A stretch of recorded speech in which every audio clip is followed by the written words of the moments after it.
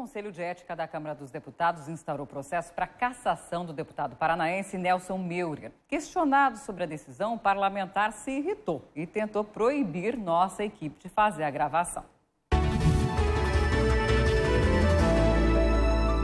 Minutos depois do Conselho de Ética instaurar processo disciplinar para a cassação do mandato de deputado federal, Nelson Meurer foi abordado pela nossa equipe no Congresso. Visivelmente irritado, não quis comentar a decisão e tentou impedir o cinegrafista de fazer imagens, tampando a lente da câmera. Deputado, só não acha que é importante falar com a gente sobre o Conselho de Ética? O Conselho acabou de ter a decisão. Não, não, não tenho nada a informar. O senhor pretende se defender? O quê?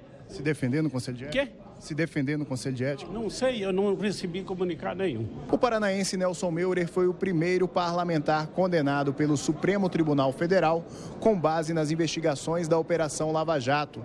O STF determinou uma pena de 13 anos e 9 meses de prisão pelos crimes de corrupção passiva e lavagem de dinheiro, mas ainda cabe recurso.